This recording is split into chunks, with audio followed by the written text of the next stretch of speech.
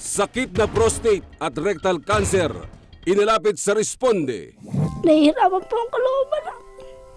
Pag nakikita namin siya. Humihingi po kami ng tulong na paggamot po namin yung tatay namin ma-operahan po siya. Napakahirap. Pag sumasakit po, pati po mga kapitbahay, naririnig po nila, umiiyak po po, umiiyak sa sakit. At sagot ng isang ama, ukol sa bintang ng hindi pagpapahiram sa kanyang misis ng kanilang nag-iisang anak matapos nilang maghiwalay. Tutukan ng lahat ng kasong yan mamayang alas 6 ng gabi. Tugon. Aksyon. Ngayon. Responde.